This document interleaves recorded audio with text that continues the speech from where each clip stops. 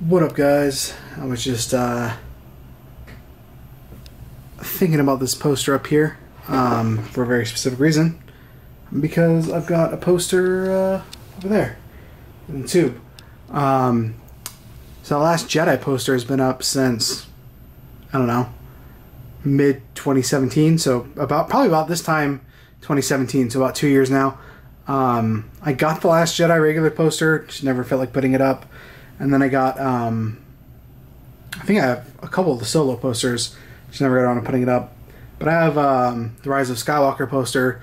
So I'm to take this guy off the wall and down, and then I'm to switch it out, and we'll talk about a little bit about my uh, posters. So my poster frame is custom built by me and backlit. Um, I use cheap Amazon or um, maybe eBay LEDs behind it, but as you can see, like it's definitely not as bright as it used to be. I mean, there's it off and it's with it on. Um, so I might do a side project and add more LEDs or replace the ones that are in there. Um, but not today. Just want to show you guys what it looks like when they are uh, when they're on. So up there on the wall, that's half of the uh, wall mounting apparatus we got going on, on over here. Pull it off the wall. So you can kind of see the construction of it. It's just um, one by four, I think is what I built this out of a one by four box of plywood behind it. And there's the other half that holds it to the wall. Um, then on the plywood is where the LEDs are obviously ran.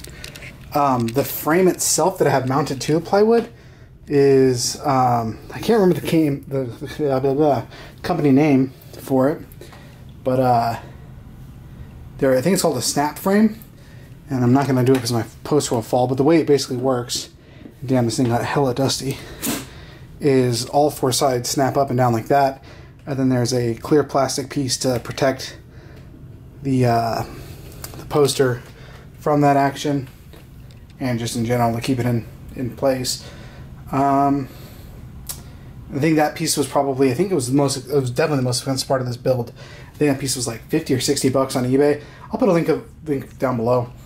Um, the box, I probably spent, I don't know, $10 on wood, maybe and then probably another $10 on the uh, LEDs.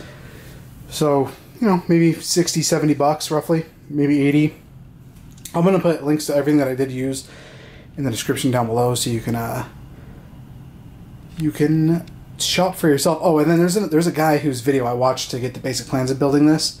Um, and I'll link his video as well. So here it is. We have been upgraded from the Last Jedi to The Rise of Skywalker. Um, I don't know, it might be the power supply or the LEDs are dimming out.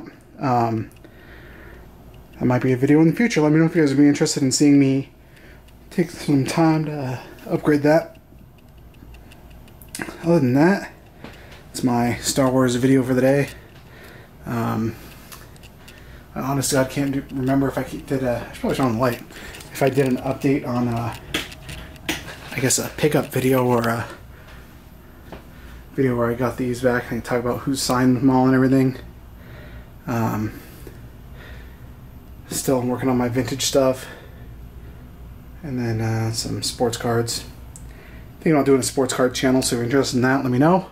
I'll drop the link. Actually, I already made it, to be honest. Um, just haven't done anything with it yet. But that is it. I am out. Hey, thanks for watching this video. On the bottom left here you can see I've got a room tour going on.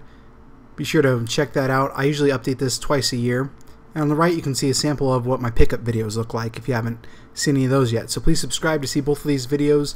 I try to do monthly pickups at a minimum and biannual room tour updates.